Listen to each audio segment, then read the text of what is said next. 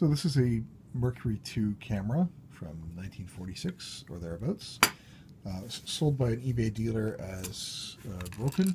I picked up it and a working one for $32 or $33. Oops, let's get that out of there. See, it's rather steampunky and so forth. It is actually uh, at least partially actuated by clockwork, so it is kind of steampunky. But what I did is I removed just this uh, the depth of focus field that covers up the round shutter, and the shutter kind of works in an interesting way, which I will show you. So you wind it here. You can see there's a little gap here. The this is like two halves of a circle, and the size of that gap as it passes in front of the lens determine the shutter speed. So we can widen that up this thing here.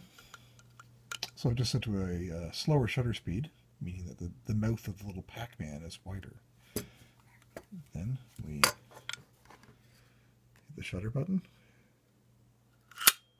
The whole thing swings around, it passes in front of the lens down here. There we go, and it's working again.